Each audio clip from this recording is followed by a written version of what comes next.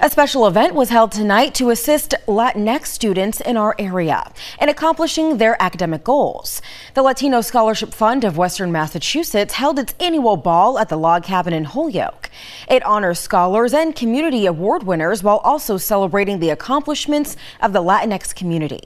The goal is to provide scholarship opportunities for college-bound Latinx students in Western Massachusetts.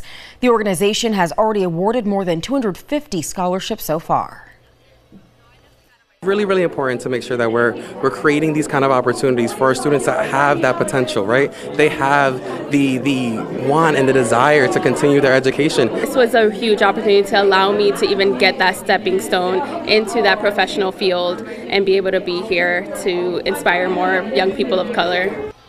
This event is just one of the many ways the Latino Scholarship Fund works towards creating a more equitable and inclusive education system for Latinx students.